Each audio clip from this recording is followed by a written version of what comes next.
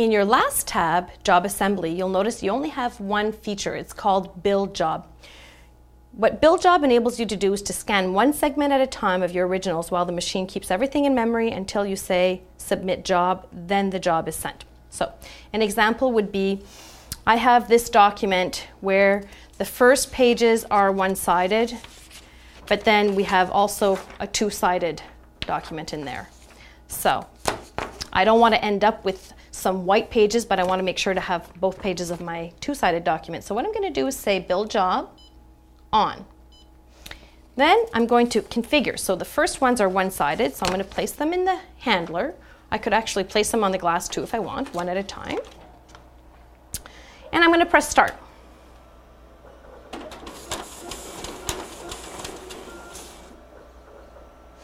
You can see here segment one has two pages. So the next segment happens to be two-sided. So I'm going to place my two-sided document in the handler. And I'm going to say program next segment to switch it from one-sided, back to the email tab, over to two-sided. Start. So I can see here segment two also has two pages. If I made a mistake, I can delete my segments and start over.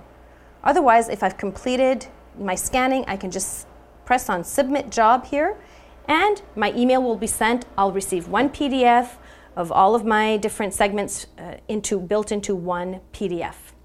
Another example of why you would use this feature, for example, if you have a book and you want to scan four or five pages from that book, that would be another time. So you would put place the first page, start, flip the page, start, flip the page, start, and submit job when you're done.